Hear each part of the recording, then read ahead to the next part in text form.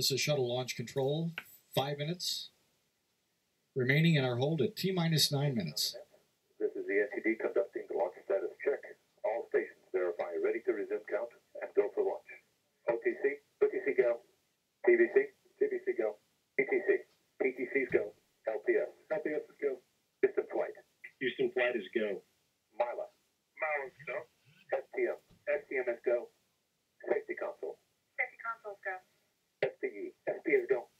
LRD, LRD is go. SRO, SRO go go. Copy, are you go to go to five minutes and hold? Yes, we are good to go. Five minutes and hold. Copy. And CDR. Discovery is go. Launch director NTD. Yes, sir. Your launch team is ready to proceed. SRO has uh, concurrence to go to five minutes. Okay, copy all that. I'll do my poll this time. KC Chief Processing Engineer, verify no constraints to launch. No constraints. Thank you, Steve. KC Safety Mission Assurance. KSC safety mission assurance is go pending resolution of the range issue. Copy. Payload Launch Manager. Mike, this is go. Copy. Range Weather. Weather has no constraints for launch. Copy. Thank you, Kevin. And Ops Manager. Obviously, Mike, on our side, uh, MMT's in really good shape. The Vehicle's looking perfect. Weather's looking great. We'll stand by here and see if the range can resolve their issue, but we are go. Okay, copy that, and uh, we'll take it on down to five and see if we can't get there. Yeah, it's a good point, Mike. Let's keep going. And KC Safety and Mission Assurance. KSC safety and mission assurance. Let's see, if we get uh, the go from SRO, you're going to be go. Is that a firm? We don't have to repoll you. Mike. Yes, we are go. Right, so we will not repoll you if we get a go from SRO. That's affirmative. Thank you, concur. Just a few seconds away from resuming our countdown. Captain Clapper resume on my mark. NTD safety. Three, standby safety, two, one, mark. T minus nine minutes of counting. US out of sequence has been initiated. And the ground launch sequencer has been initiated. All countdown functions now automatically controlled by the GLS computer located in the firing room integration console. Thank you. Our window will expire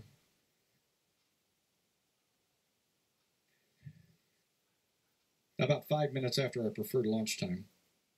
GLS is go for access arm retract. And Discovery OTC from the processing team of Discovery to the crew of Discovery. Enjoy the ride. Thank you very much.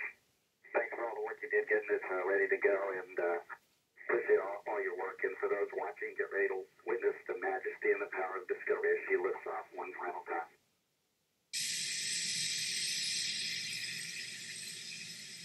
T minus five minutes, four seconds, and counting. Captain Clapper is holding at T minus five minutes due to manual request. Countdown clock is holding here. Two minutes and 48 seconds of hold time remain in today's launch window of Space Shuttle Discovery. One third OT. Ops manager on 212. Go ahead. I got verbal confirmation from the, the uh, 45th Wing Commander. We are go, and we do not need SRO's go, so I would like you to proceed. Copy that. Entity with that verification that the range will support today's launch. Need to press on. Pick up the clock on your mark. Copy that. And SRO NTD, need to put this, uh, your hold switch to proceed position. 40 seconds remaining in our launch window. Range is go. TLS says the SRO hold's been removed. Negative, sir. SRO NTD. NTD, NTD, I can remove the hold here. Come back up. SRO on 212. So needed to put your hold switch in proceed position. SRO proceed. This is GLS, can you verify? GLS verified. 15 seconds remaining in our hold. Copy. Thanks, that will pick up momentarily. CGLS, pick up the clock on your mark. GLS copy. Three, two, one, mark. T minus seven. T minus five minutes and counting. TLT, OTC, perform APU start. TLT in work. And CDR, OTC, reconfigure heaters.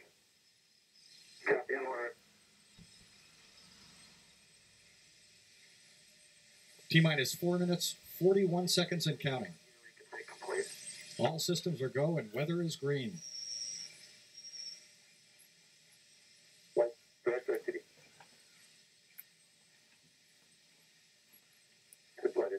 STD Houston flight, I have two seconds of train back hold remaining. Two seconds.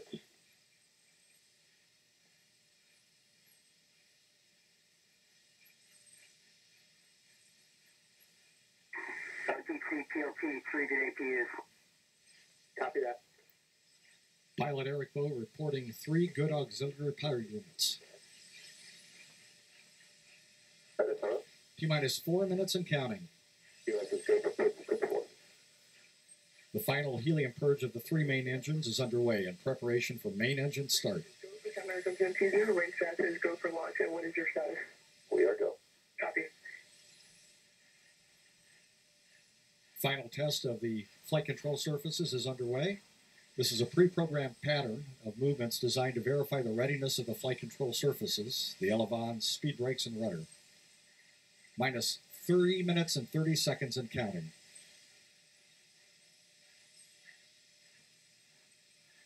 Final aero surface checks are complete. Discovery's three main engines will be gimbaled through a pre-programmed series of maneuvers as a final test before launch.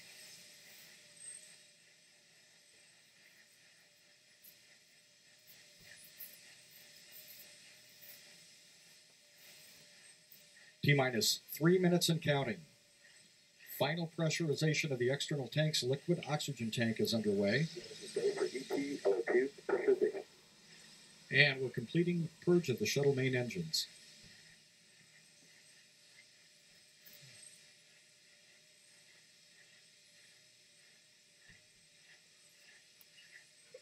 PLT OTC, clear caution warning memory, verify no unexpected errors. PLP in work.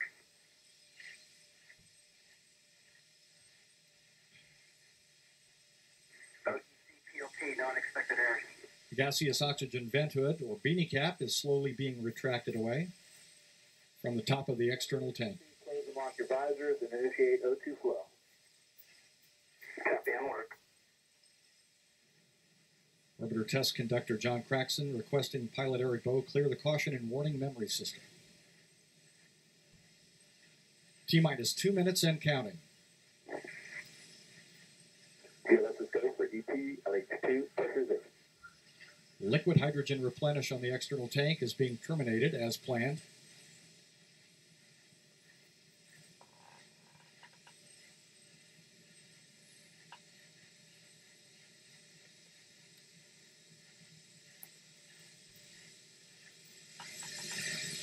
T minus one minute, 30 seconds, and counting.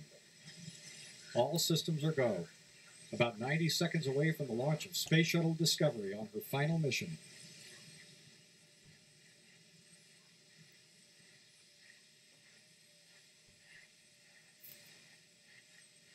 T minus one minute, 10 seconds, and counting. The liquid hydrogen tank inside the external tank is now at the proper flight pressure. T minus one minute and counting. The ground launch sequencer will verify that the three main engines are ready to start. The booster joint heaters are being deactivated at this time. T minus 48 seconds, and we're transferring to orbiter internal power. Discovery is now running on its uh, three onboard fuel cells. Coming up on a go for auto sequence start at T minus 31 seconds.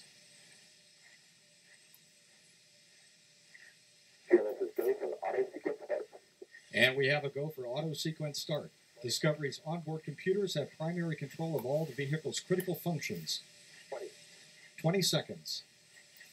The sound suppression water system 15, has been activated, protecting Discovery and the launch pad from acoustical energy waves.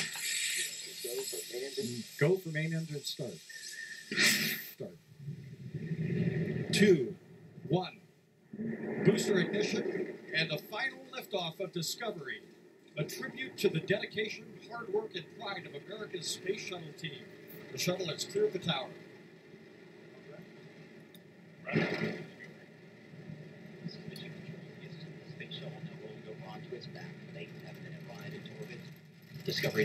one last reach for the stars.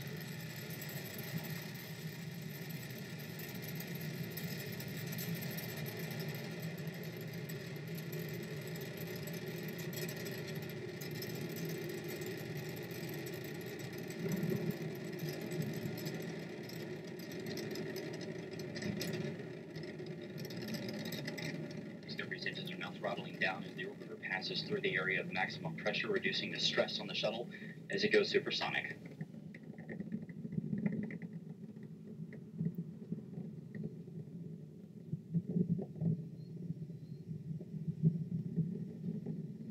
Discovery Houston, you are go and throttle up.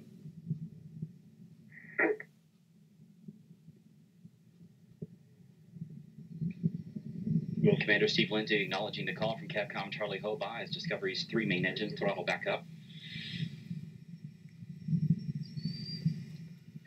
Lindsey is joined on the flight deck by pilot Eric Bowen, mission specialist Al Drew, and Nicole Stott.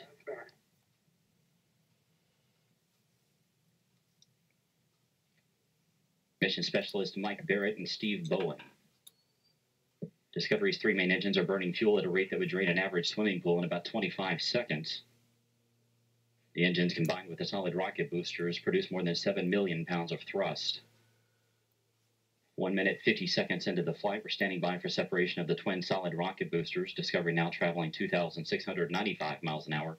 Its altitude 24 miles. Downrange from the Kennedy Space Center 29 miles.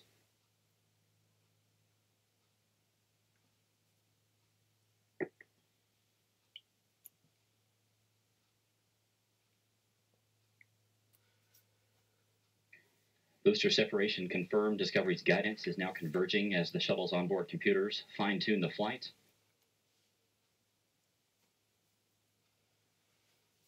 Two minutes, 25 seconds into the flight, Discovery traveling 3,189 miles an hour.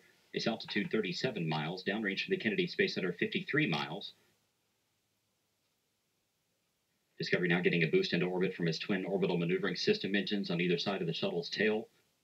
These two engines will burn for 2 minutes and 32 seconds. Your two engine TAL, uh, we do have updates to your NOCOM mode boundaries, and we did launch late into pane one, our only pane. The uh, contingency abort boundaries we'll use are in plane plus, plus 230.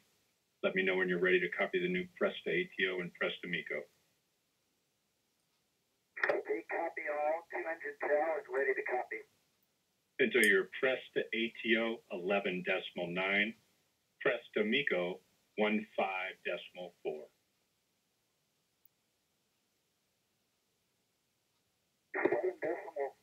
Eleven decimal, nine and one five decimal four. It's a good read back on both.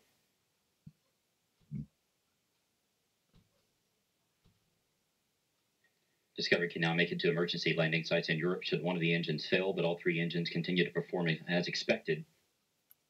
Capcom Charlie Hobaugh updating the crew there with some uh, updated uh, time information due to the later than planned launch.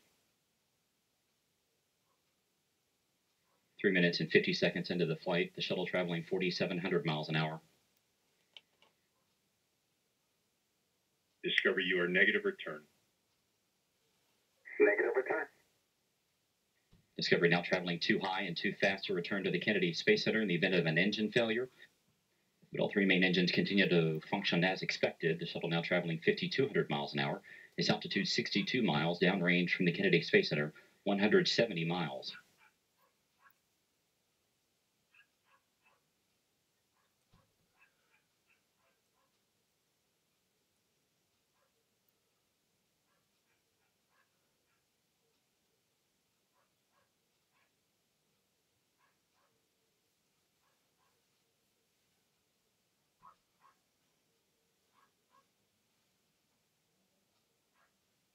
Four minutes, 45 seconds into the flight, Discovery traveling 6,200 miles an hour. Its altitude 66 miles. Downrange from KSC 229 miles. Here inside Mission Control, Flight Director Richard Jones and his team continue to monitor the progress of Discovery's flight. All systems are continuing to perform as expected.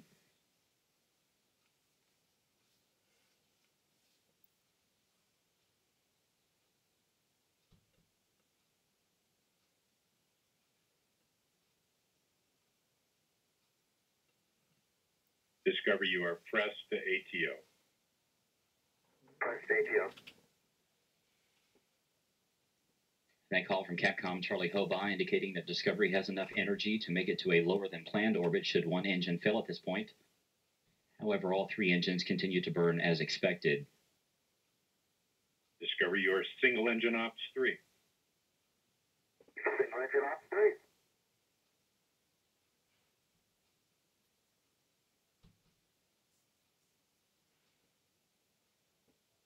Discovery's engines are now swiveling to roll the shuttle to a heads up position to give better communication with NASA's tracking satellites.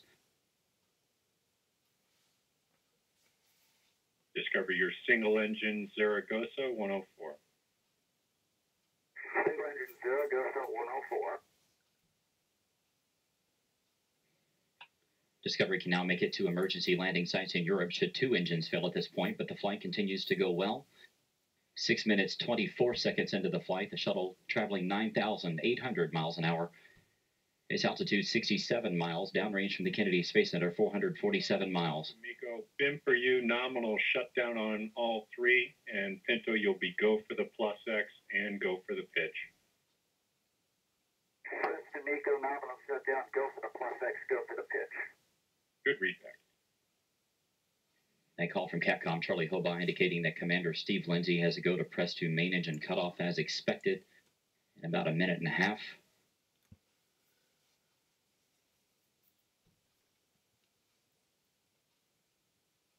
Discover your single engine press. Single engine press.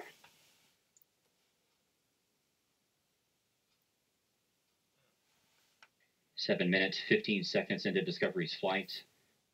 Shuttle traveling 12,700 miles an hour. Its altitude 66 miles. Downrange from the Kennedy Space Center 615 miles.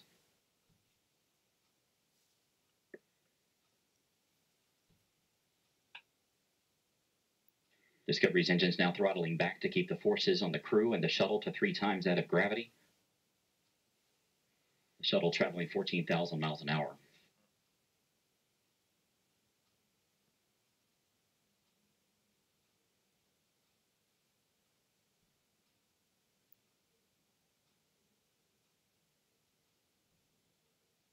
Less than 30 seconds to go in Discovery's powered flight. We're coming up on main engine cutoff.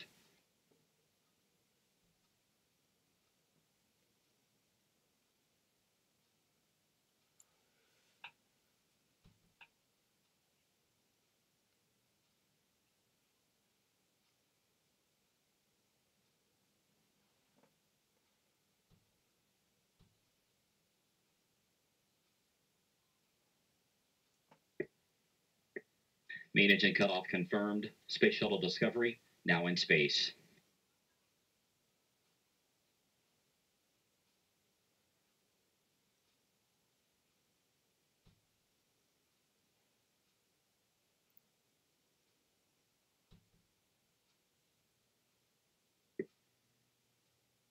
External tank separation confirmed.